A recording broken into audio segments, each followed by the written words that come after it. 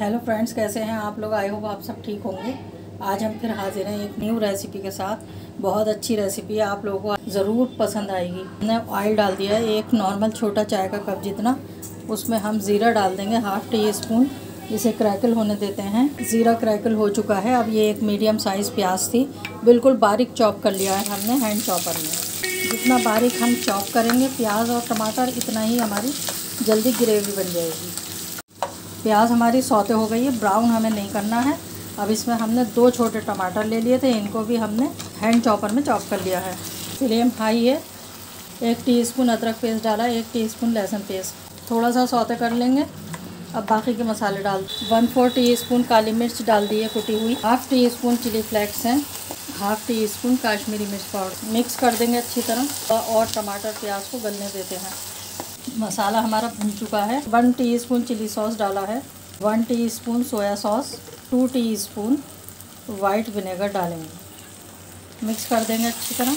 तीन अंडे ले लिए हैं। रफली बीट कर लेंगे। फ्लेम लो करके हम थोड़ा थोड़ा करके अंडों को थोड़ा थोड़ा करके डाल देंगे और जल्दी जल्दी चमचा स्टर कर देंगे।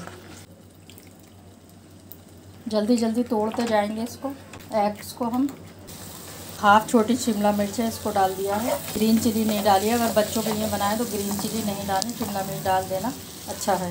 250 ग्राम पास्ता है, हमने बॉयल लिया सिंपल पानी लिया बॉयल हुआ, नमक डाला और पास्ता को हमने उबाल लिया। इसको 85 परसेंट कुक कर लिया। 85 का मतलब ये है, जब हम इसे प्रेस करते हैं तो ये पूरा टूट नहीं पाता है। अगर ये बहुत ज़्यादा गला लेंगे 100 परसेंट तो ये सब टूट जाएगा। सब पास्ता को इसमें डाल के मिक्स कर देंगे अच्छी तरह।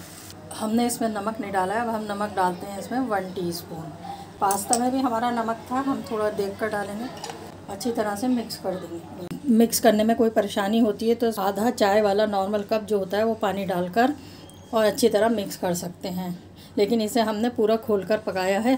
पास्ता रेडी हो चुका है। अगर आप मेरे चैनल पर नए हैं तो प्लीज़ सब्सक्राइब कीजिए लाइक एंड शेयर कीजिए। इस डिश को ज़रूर ट्राई कीजिए। अब हम करते हैं इसको डिश आउट थोड़े से हरा धनिया से गार्निश कर देते हैं। ये हमारे पास फ्रोज़न हरा धनिया है। चीज़ के पी एक चीज़ का पीस ले लिया है। अब बच्चों के लिए बनाया है तो इसमें कैचअप ज़रूर होनी चाहिए। ये हमारा चाइनीज़ स्टाइल पास्ता बनकर रेडी है। आप भी इसको ज़रूर ट्राई कीजिए। पसंद आएगी आपको ये डिश बहुत। फिर मिलते हैं एक न्यू रेसिपी के साथ। तब तक के लिए बाय